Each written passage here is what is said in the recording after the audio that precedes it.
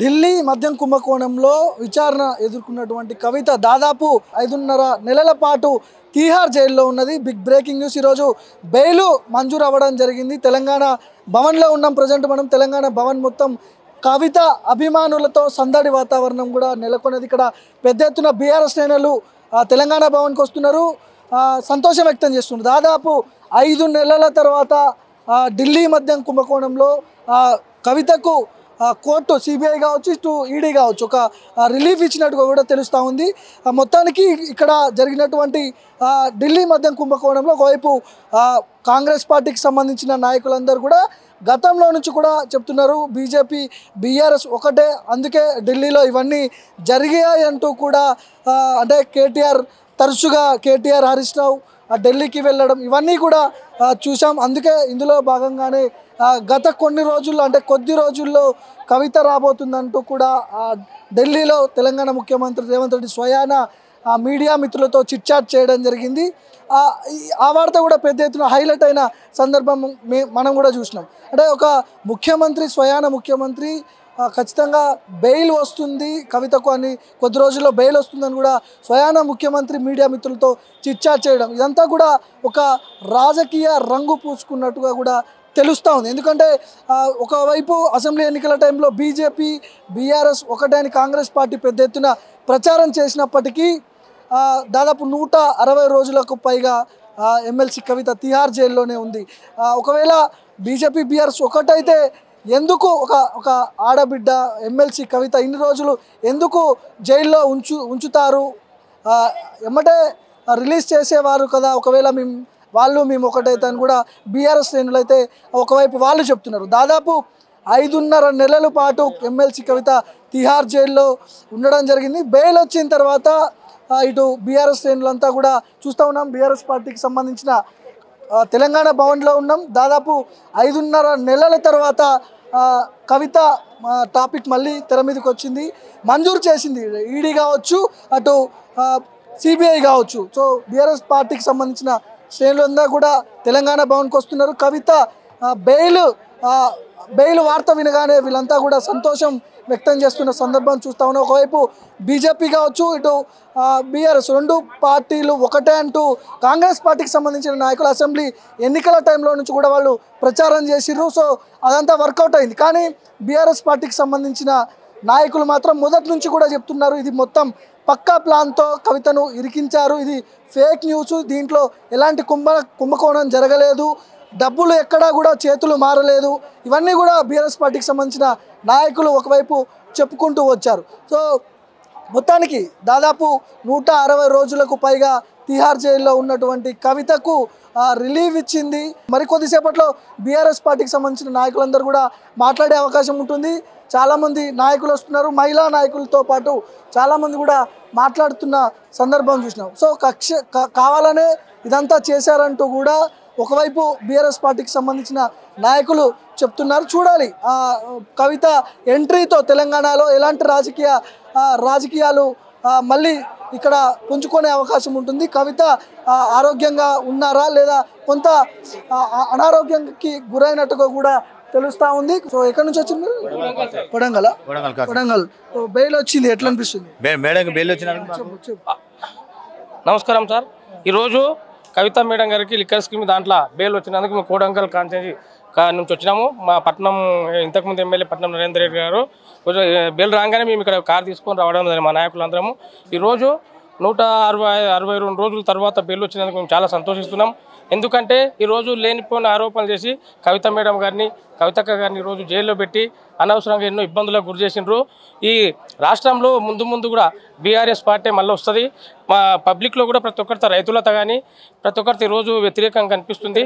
మా కోడంగల్ తాలూకాలో కూడా మేమందరం కూడా చాలా మొన్న కూడా రైతు రుణమాఫీ దాని విషయంలో కానీ రైతులకు ఇప్పుడు రైతు భరోసా రావడం లేదని కూడా మేము మాట్లాడడం జరుగుతుంది.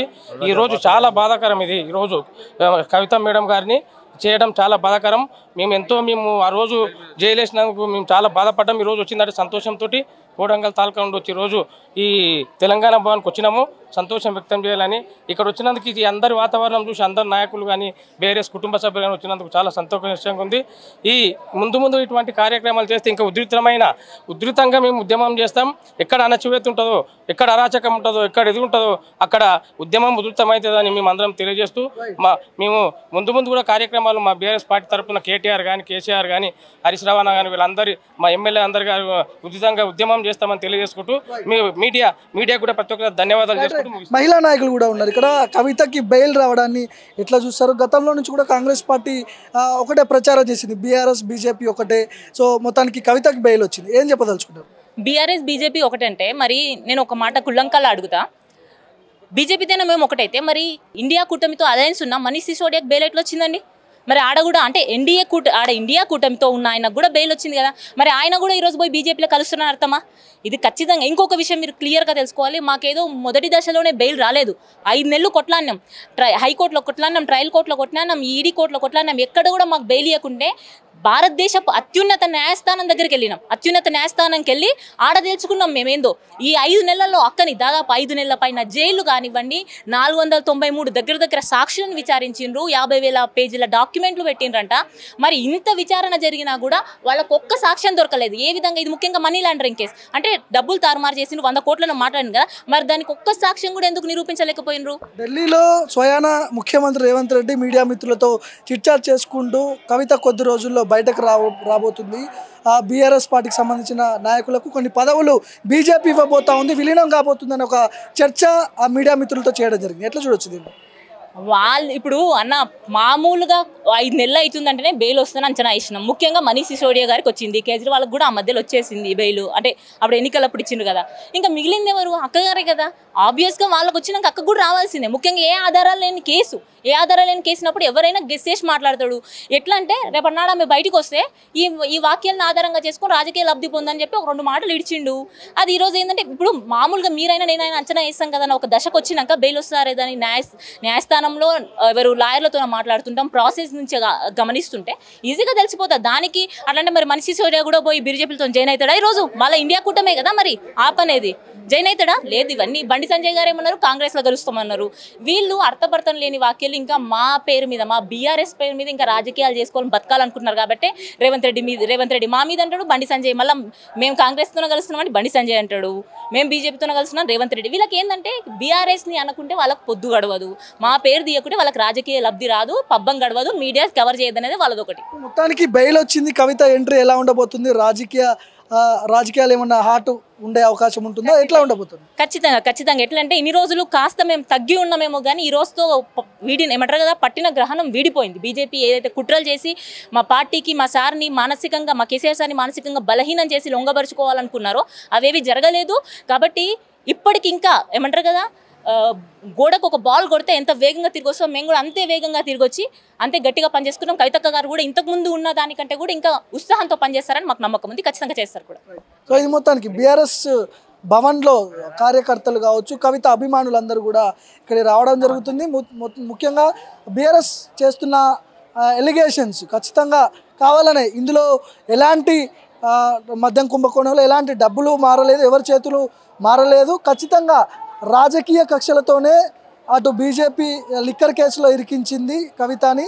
బీఆర్ఎస్ పార్టీపై పెద్ద ఎత్తున ఇక్కడ ఉన్నటువంటి ఆదరణను ఓర్చుకోలేకనే కవితని ఢిల్లీ లిక్కర్ స్కామ్ కేసులో ఇరికిచ్చిందని కూడా వీళ్ళు చెప్తున్నారు. ఒకవైపు స్వయానా ముఖ్యమంత్రి రేవంత్ రెడ్డి ఢిల్లీలో చిట్చాట్ చేసుకుంటూ మీడియా మిత్రులతో కొద్ది రోజుల్లో కవిత బయటకు రాబోతుందనే కొన్ని సంచలనమైన ఆరోపణలు చేశారు. సో ఇవన్నీ వీటికి ఆద్యం పోసినట్టుంది. పల్లె రవికుమార్ గౌడ్ ఉన్నారు మనతో పాటు. రవికుమార్ గారు బెయిల్ వచ్చింది. ఎట్లా అనిపిస్తుంది? దాదాపు ఐదు నెలలు ఐదున్నర నెలల తర్వాత కవితకు బెయిల్ వచ్చింది. ఇట్లా ఉండబోతుంది కవిత కవిత ఎంట్రీ తెలంగాణలో? తెలంగాణ ఉద్యమ నాయకురాలు బీఆర్ఎస్ పార్టీ నాయకురాలు ఎమ్మెల్సీ కవిత గారికి బెయిల్ రావటం పట్ల ఎట్టకేళ్ళకి ఐదున్నర నెలల తర్వాత బెయిల్ రావటం పట్ల సంతోషం అమ్మొస్తుంది ముందుగా ఈ బెయిల్ ఎట్లా ఏంది అనేది ఏంటంటే కేసే అక్రమం. ఈ కేసే అక్రమంగా కేసీఆర్ గారిని బీఆర్ఎస్ పార్టీని రాజకీయంగా దెబ్బతీయటం కోసము అప్రతిష్టపాలు చేయటం కోసము రాజకీయ కక్షలో భాగంగా కుట్రపూరితంగా బనాయించినటువంటి అక్రమ కేసు. ఇప్పటి వరకు ఐదున్నర నెలలుగా దానికి సంబంధించి ఏ ఆధారాలు కానీ ఏది కానీ నిరూపించలేకపోయింది. ఏది కూడా కోర్టు ముందు కానీ సిబిఐ ఛార్జ్ షీట్లో కానీ ఏం చేయలేకపోయింది. ఖచ్చితంగా. ఇవాళ స్వయంగా సుప్రీంకోర్టు ఇవాళ చెప్పింది.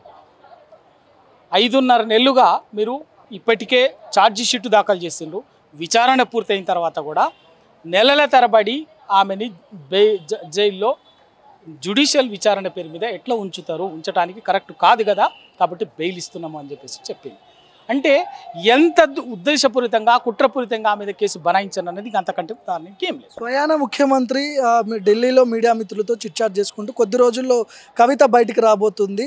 ఆ బీజేపీలో బీఆర్ఎస్ విలీనం లేకపోతే కేటీఆర్కి మం ఆ, కేంద్ర మంత్రి పదవి కేసీఆర్ గవర్నర్గా ఇలాంటి వ్యాఖ్యలు చేయడం వెనక ఏముండొచ్చు అనుకుంటారు ఇప్పుడు రేవంత్ రెడ్డి గారు ఆయన నోటికి ఏ మాట వస్తుంది మాట్లాడతారు. ఇంకా ఏం లేదు ఆయన నోటికి అడ్డు అదుపు లేదు. భాషకు కానీ భావం కానీ దేనికి అడ్డు అదుపు లేదు ఏది మాట వస్తే అది మాట్లాడతారు.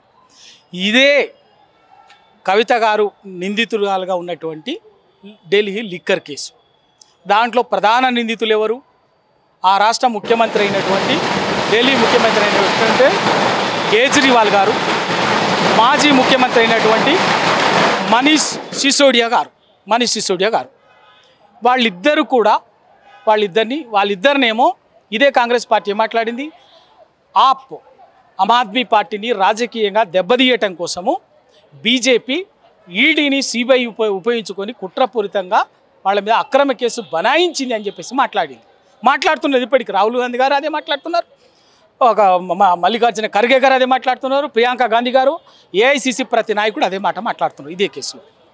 కానీ మళ్ళీ అదే కేసులో ఒక ఆరోపణ మీద ఉన్నటువంటి కవిత గారు ఐదున్నర నెలలుగా అక్రమంగా కేసులు ఒక ఆడబిడ్డ బెయిల్ వచ్చింది. ఏం మాట్లాడుతున్నారు మీరు?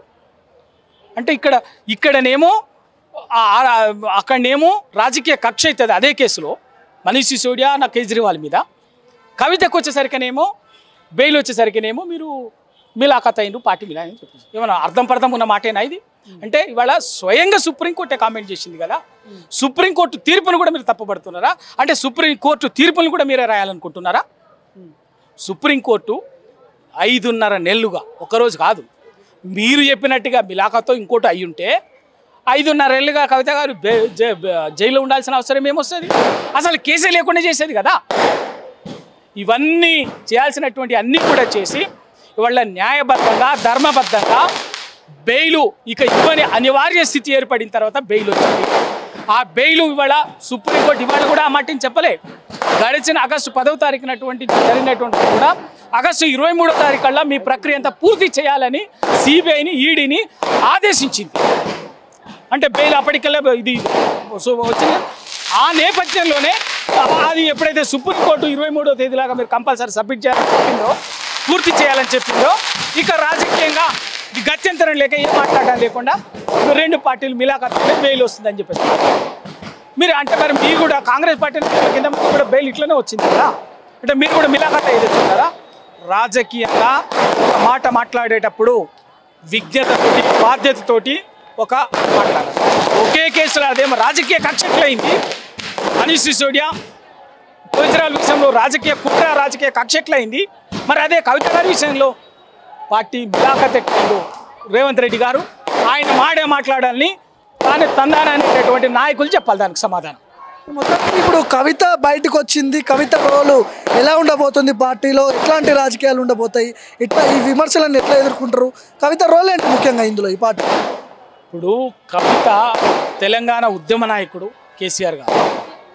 ఒక తెలంగాణకు ఒక నికార్సుగా నిలబడినటువంటి నిటారుగా నిలబడినటువంటి ఒక బలమైన తిరుగులేని నాయకుడు కేసీఆర్. గారు. ఆ కేసీఆర్ గారిని దెబ్బతీయడం కోసం పన్నినటువంటి కుట్రలో భాగంగా ఇది బనాయించినటువంటి కేసు. వాళ్ళు వచ్చింది కేసీఆర్ గారు వీళ్ళ కాంగ్రెస్ కూడేందంటే నాలుగు వందల ఇరవై హామీలని అబద్ధపు హామీలను మోసపూరిత హామీలని ప్రజలకిచ్చి అధికారంలోకి వచ్చింది. డిసెంబర్ తొమ్మిదవ తారీఖు నాడే తొలి రోజే అమలు కార్యాచరణ మొదలు పెడతామని చెప్పింది.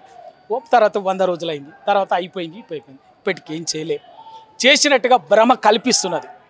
ఆ భ్రమలు ప్రజల్లో తొలగిపోయినాయి. తొమ్మిది నెలలు ఎనిమిది నెలలు అయిపోయింది. తెలంగాణ వీళ్ళకు అధికారం అప్పచెప్పి ఎనిమిది నెలలు అయిపోయింది. నిన్న ఇప్పుడు నడుస్తున్నది కూడా రెండు లక్షల రుణమాఫీ. ఆ రెండు లక్షల రుణమాఫీ అంత మోసం మీరు చేసింది ఏమీ లేదు. పద్దెనిమిది వేలు తప్ప నయా పైసా లేదు అని చెప్పేసి మీ మాటలతోనే అయిపోయింది. దాన్ని ప్రజలు అర్థం చేసుకునే రైతంగా అర్థం చేసుకునే రోడ్ల మీదకి వచ్చి కాంగ్రెస్ నాయకుల్ని ప్రభుత్వాన్ని నీలదీసే మంత్రుల్ని నిలదీసే పరిస్థితి వచ్చింది. అది టీఆర్ఎస్ పార్టీ కేసీఆర్ గారు కొంత రిలాక్స్డ్గా ఉంటే ఆ క్షేత్రస్థాయిలో ఇంకింత పదునైన కార్యాచరణతోటి వీళ్ళ భరతం పడతాడని చెప్పి వీళ్ళ కాంగ్రెస్ నాయకుడు పిచ్చి పిచ్చి ప్రలాపాలు చేస్తున్నారు. బరాబర్ వదిలిపెట్టేది ఏం లేదు. ఆ నాలుగు వందల ఇరవై హామీలన్నీ ప్రతి హామీ కూడా అమలయ్యేటట్టుగా ప్రజాక్షేత్రంలో పార్టీ ఉద్యమాలు నిర్మిస్తుంది. కార్యాచరణ ఉంటుంది. దాని తగ్గట్టు కార్యాచరణతోటి వీళ్ళ ప్రతిదీ కూడా వీళ్ళ మోసాన్ని ఎండగట్టి ప్రతి హామీ అమలు చేసినట్టుగా కార్యక్రమంతో పనిచేస్తాం పార్టీ కార్యక్రమం రైట్ సో ఇది మొత్తానికి బీఆర్ఎస్ పార్టీకి సంబంధించిన నాయకులు కార్యకర్తలు కవిత అభిమానులు అందరూ కూడా తెలంగాణ భవన్కి చేరుకున్నారు. టపాసులతో తెలంగాణ భవన్ మొత్తం దద్దరెళ్ళిపోతుంది. ఒకసారి చూడొచ్చు అక్కడ హడావిడి పెద్ద ఎత్తున కనిపిస్తూ ఉంది. మహిళా నాయకులు కావచ్చు కార్యకర్తలు కావచ్చు అభిమానులు కావచ్చు అందరు కూడా తెలంగాణ భవన్కి రావడం జరుగుతుంది. ఇక్కడ ఉన్నటువంటి సిచ్యువేషన్ క్లియర్గా చూడవచ్చు విజువల్స్లో మనం. మహిళా నాయకులు చాలామంది ఇక్కడికి వస్తున్నారు. కవిత బయటికి వచ్చింది. మరో రాజకీయం మరో హాట్ హాట్గా రాజకీయాలు నడిచే అవకాశం ఉందని కూడా వీళ్ళు మాట్లాడుతున్నారు. సో మొత్తానికి ఎమ్మెల్సీ కవిత బయటికి రావడంతో అటు కేటీఆర్ కావచ్చు హరీష్ రావు కావచ్చు వీళ్ళంతా కూడా రెగ్యులర్గా ఢిల్లీకి వెళ్ళడం అంటే అక్కడ ఉన్నటువంటి సుప్రీంకోర్టు న్యాయవాదులతో మాట్లాడటం బెయిల్ ఎట్లా వస్తుంది? ఏ ఏ లైన్లో బెయిల్కి అప్లై చేయాలనే విషయంలో ఆ పార్టీ కీలక నేతలందరూ కూడా ఢిల్లీకి ఉక్కుకే వెళ్ళడం. సో ఇవన్నీ కూడా జరిగినాయి. ఇక్కడ తెలంగాణ భవన్లో మాత్రం ఖచ్చితంగా ఇక్కడ ఉన్నటువంటి సరౌండింగ్లో ఉన్నటువంటి కార్యకర్తల అభిమానులు పెద్ద ఎత్తున అయితే ఇక్కడికి వస్తుంటున్నారు చేరుకుంటున్నారు. మహిళా నాయకులను చూడొచ్చు మనం. చాలామంది నాయకులు ఉన్నారు ఇక్కడ. సార్ బెయిల్ వచ్చింది. ఏం చెప్పదలుచుకున్నారు? ఎట్లా అనిపిస్తుంది సార్? చాలా న్యాయం ధర్మం ఖచ్చితంగా గెలిచి తీరుతుంది. న్యాయం ధర్మం కాపాడబడతాయి. మొదటి నుండి కవిత చాలా క్లియర్గా చెప్పింది. నేను కడిగిన ముత్యంలాగా బయటపడతా. నాకు ఎలాంటి సంబంధం లేదని. ఈరోజు దేశంలో సిబిఐలు ఈడీలు రెండు కూడా కేంద్ర ప్రభుత్వ రాజకీయ ప్రయోజనాలు కాపాడడం కోసం ఎదుటి పార్టీలను ఎదుటి దేశంలో ఉన్నటువంటి పరువు ప్రతిష్ట కలిగినటువంటి వ్యక్తులను ఒక రకంగా మానసిక క్షోభకు గురి చేయడానికి ఇటువంటి దుర్వినియోగానికి పాల్పడుతూ ఉన్నారు. దేశంలో ఇది చర్చ జరగాలి. మోడీ గారు ప్రధానమంత్రి అయిన తర్వాత ఈడీలు సిబిఐలు ఈ దేశంలో ఎందరి మీద కేసులు పెట్టినాయి? ఎన్ని ప్రూవ్ అయినాయి? ఎన్ని ప్రూవ్ చేయగలిగారు నిజంగా మెజార్టీ వాళ్ళు ప్రూవ్ చేయగలిగి వాళ్ళను దోషులుగా తేల్చగలిగితే వాళ్ళు చేస్తున్నది కరెక్ట్ తేల్చలేకపోతున్నారు అని అంటే రాజకీయ ఒత్తుళ్ళకు భయపడి ఎదుటి వాళ్ళను ఒక భయానకమైనటువంటి వాతావరణం సృష్టించడానికి జరుగుతున్నటువంటి తతంగం. ఇది దేశ ప్రయోజనాలకు దేశ ప్రజాస్వామ్యానికి మంచిది కాదు. ఈ దేశంలో ప్రజలు ఎన్నుకున్నటువంటి ప్రభుత్వం ప్రజల మనోభావాలకు అనుగుణంగా పనిచేయాలి తప్ప ప్రజల మనోభావాల్ని ప్రజల ఆలోచనలకు సప్రెస్ చేసేటువంటి పరిణామం ఏదైతుందో మంచిది కాదు. ఢిల్లీలో ముఖ్యమంత్రి స్వయాన ముఖ్యమంత్రి మీడియా మిత్రులతో చిట్చాట్లో భాగంగా కవిత కొద్ది రోజుల్లో బయటకు రాబోతుంది. కేటీఆర్ కేంద్ర మంత్రి కేసీఆర్ గవర్నర్. సో ఇలాంటి వ్యాఖ్యలు చేసిండు. ఈ కొద్ది రోజుల్లోనే కవితకి బెయిల్ రావడాన్ని. అంటే ఎట్లా చూడొచ్చు? కొంతమంది ప్రతిపక్ష పార్టీకి సంబంధించిన ఆయన ఈ ఒక పని చేయాలి. ఇదొకటే విషయం కాదు. ఒక చిలుకను కొనుక్కొని జోస్యాలు చెప్తే బాగుంటుంది. కారణం ఏంటంటే కవిత కేసు అనేక సందర్భాల్లో చర్చలు డెఫినెట్గా ఇటువంటి అంటే కస్టడీలో ఉన్నటువంటి వాళ్ళ విషయంలో చే- వాదనలు విన్న తర్వాత ఏదో ఒక రోజు నిర్ణయం జరుగుతుంది. దానికి ఏదో మేధావులు కావాల్సినటువంటి అవసరం లేదు. కేసు మెరిట్ను బట్టి తప్పకుండా బెయిల్ వస్తుంది. కేసులో డొల్లతనం తప్ప కేసులో డొల్లతనం తప్ప వాస్తవం లేదు. ఈ కవిత నిరపరాధి అనేటువంటి విషయం రేవంత్ రెడ్డి కూడా ఏదో ఒక మార్గం ద్వారా తెలుసు కాబట్టి గ్యారెంటీగా బయట పడతా బయటకు వస్తా అనేటువంటి విషయాన్ని గమనించి ఉంటాడు. దానిలో భాగంగా మాట్లాడు. ఎట్లా ఉండబోతుంది సార్? కవిత బయటకు వచ్చింది. పార్టీలో ఎట్లాంటి రోల్ ఉంటుంది? రాజకీయాలు ఏమైనా వేడెక్కే అవకాశం ఉంటుందా? రాజకీయాలు మేము ఉద్యమ బీఆర్ఎస్ పార్టీ ప్రాథమికంగా ఉద్యమ స్వభావం కలిగినటువంటి పార్టీ. మేము గెలుపోవటములను కష్ట నష్టాలను అన్నిటి కూడా సమదృష్టితో చూస్తాం. మాకు అల్టిమేట్గా తెలంగాణ ప్రజల ప్రయోజనాలే ముఖ్యం. దానికోసం మా వ్యక్తిగతమైనటువంటి జీవితాలను ప్రయోజనాలను ఏ రోజు కూడా ఆలోచించకుండా ప్రజా శ్రేయస్సు కోసం పనిచేస్తాం మాకు ఈరోజు కాస్త ఈ మధ్యకాలంలో అందరం కూడా ఎంతో కొంత మాన మనస్తాపానికి మానసికంగా కొంత కొంత ఇబ్బందికి లోనైనటువంటి మాట వాస్తవం. ఖచ్చితంగా మాకు సుప్రీంకోర్టు మీద సంపూర్ణమైనటువంటి విశ్వాసం ఉన్నది ఉండే. బెయిల్ వస్తుంది అనేటువంటి నమ్మకం. అది ఈరోజు సుప్రీంకోర్టు న్యాయాన్ని ధర్మాన్ని కాపాడింది. అంటే ఇవాళ సుప్రీంకోర్టు తన పాత్ర ద్వారా దేశంలో అధికారంలో ఉన్నటువంటి రాజకీయ నాయకుల ప్రయోజనాల కోసం కొన్ని సంస్థలు చేస్తున్నటువంటి నిర్వాకాన్ని ఎండగట్టేటువంటి నిర్ణయమే కవిత బెయిల్లోని ఆంతర్యం. రైట్ సో ఇది మొత్తానికి. మధుసూదనాచారి గారు కూడా చెప్తున్నారు ఖచ్చితంగా రాబోయే రోజుల్లో కవిత ఎంట్రీ ఆల్రెడీ ఎంట్రీ అయిపోయింది. ఖచ్చితంగా బెయిల్ వచ్చిన తర్వాత రాజకీయాలన్నీ కూడా వేడెక్కే పరిస్థితి కనిపిస్తూ ఉందని కూడా తెలుస్తూ ఉంది. ఎందుకంటే గతంలో చూసినా మనం ఇప్పుడున్న ముఖ్యమంత్రి కావచ్చు ఆంధ్రప్రదేశ్ మాజీ ముఖ్యమంత్రి జగన్మోహన్ రెడ్డి కావచ్చు రేవంత్ రెడ్డి కావచ్చు ఈవెన్ ఆ జైలుకి వెళ్ళిన కీలక జైళ్ళకి వెళ్ళిన వాళ్ళందరూ కూడా ముఖ్యమంత్రి స్థానంలో అత్యున్నత స్థానంలో ఉన్నారు. సో ఇప్పుడు కవిత రోల్ చాలా కీలకం అంటున్నారు. బీఆర్ఎస్ పార్టీకి సంబంధించిన నాయకులు చూడొచ్చు. ఆ బీఆర్ఎస్ భవన్ మొత్తం కూడా మహిళా నాయకులతో అదేవిధంగా కార్యకర్తలు అదేవిధంగా కవిత అభిమానులు వీళ్ళంతా కూడా వాళ్ళతో నిండిపోయిన పరిస్థితి చూస్తూ ఉన్నాం. వా వస్తున్నారు టపాకాయలు పేలుస్తున్నారు అదేవిధంగా సంబరాలు చేసుకుంటున్నారు. ఖచ్చితంగా ఇది ఒక శుభ పరిణామం అని కూడా వాళ్ళ పార్టీకి సంబంధించిన నాయకులు మహిళా నేతలందరూ కూడా చెప్తున్నారు. సో బీఆర్ఎస్ పార్టీకి సంబంధించిన నాయకుల ప్రెస్ మీట్లో ఉండబోతున్నాయి. వరుసగా నాకు అంటే six seven around seven o'clock వరకు కూడా ప్రెస్ మీట్లు కొనసాగుతూనే ఉంటాయి. ఆ, కవిత బెయిల్పై చాలా పెద్ద ఎత్తున ఇప్పుడు రాజకీయాలు వేడి పుట్టే అవకాశాలు ఉన్నాయని కూడా తెలుస్తూ ఉంది.